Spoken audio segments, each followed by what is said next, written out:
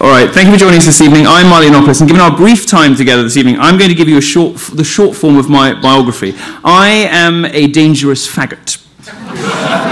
I, I am so dangerous that universities in the United Kingdom, like Manchester, Durham, and York, have banned me from speaking, lest the student body experience a collective mental breakdown at the sight of somebody who, su- who likes to spend time with gentlemen um, in an affectionate and intimate way. Um, she told me I couldn't say sucks dick. Um,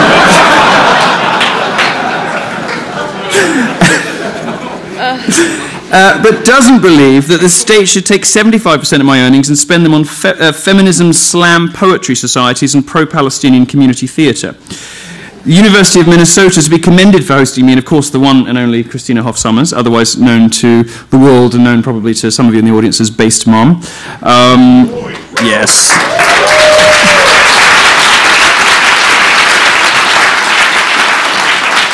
So, seeing Christina is going to be the highlight of my trip until I found out that you have the largest mall in America. Um, right here. And you also have a very large Somali population, but nobody tells me these important things before I show up. nobody knows. They didn't even let me near the uh, black only dorm.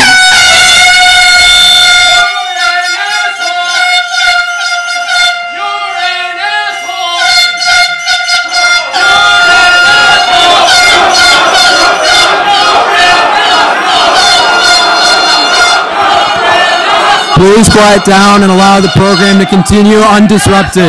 Demonstrations are authorized at plaza locations outside of the building.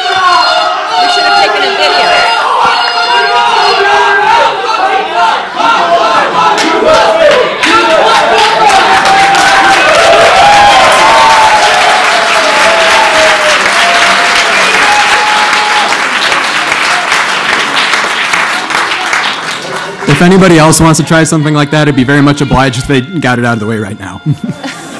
Anybody else who's desperate to get something out of their systems, do do it now. Good or bad, I mean, I don't mind. Um, lovely, thank you. Oh, I had a really good finisher then as well. I'm going to have to skip to the next joke.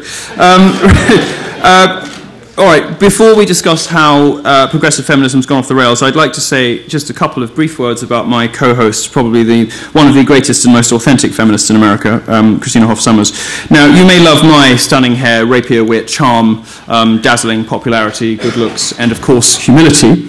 Um, but Christina is the real deal. And in this new emerging sort of cultural libertarian movement, um, there are attention seeking hellraisers and there are um, respected academics who really um, are very brave for standing athwart the forces of progressive history um, and relying on that boring old thing, facts and evidence based opinion. And so we're very lucky to have Christina. Um, nobody would debate me because they knew they'd lose um, from, from this university, so we're very privileged to have Christina. So uh, give one, one more round of applause for Christina.